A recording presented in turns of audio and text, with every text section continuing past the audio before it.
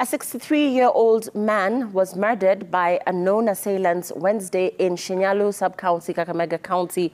Unknown assailants raided Thomas Aquinas' home Wednesday night and assaulted him with a blunt weapon in what relatives say could be a fight over land. The victim's brother, Kizito Ehituka, said the fatal attack was the fifth in a string of such incidents against Thomas.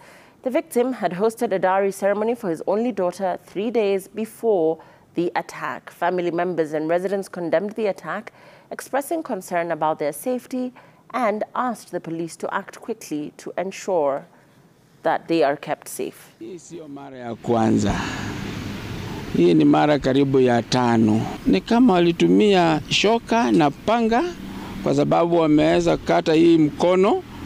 Nadhani ilikuwa mara moja imetoka, wamekata miguu. Response ya polisi iko chini kabisa, na so ikikuja kwa wakati wa magari gari ya serikali jana, ile gari imekuja kutusaidia hapo, imetoka Kakamega South. Uh, Kakamega East tunaambiwa gari ilikuwa imeenda maintenance, iko Nairobi. Sasa gari kutoka Ikolomani kukuja kutusaidia hapa, na ili hali hapa Kaega tu ni karibu just 100 meters kutoka hapa. Tunasema tunataka vitengo vya usalama vihakikisha ya kwamba Kaega police station iko na gari ili tupate huduma.